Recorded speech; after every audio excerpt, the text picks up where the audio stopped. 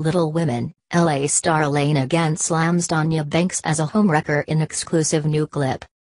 Tonya Banks may be ready to jump right back into her relationship with ex-boyfriend Jaa, but her Little Women, LA co-stars aren't about to let her forget one key fact, he has a girlfriend.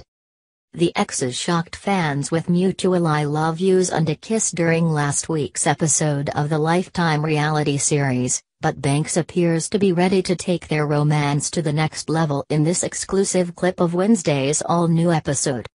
Even though Jaa needs time to figure out if he wants to get back together, I'm all in, Banks tells the cameras bluntly.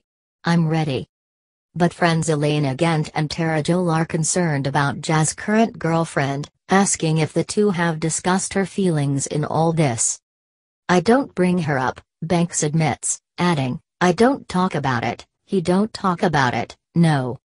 Jole confronts her friend at this point, saying, I thought you said you were going to bring her up if more happened, and clearly more happened, to which Banks replies, I'm following his lead, and that's what I told him.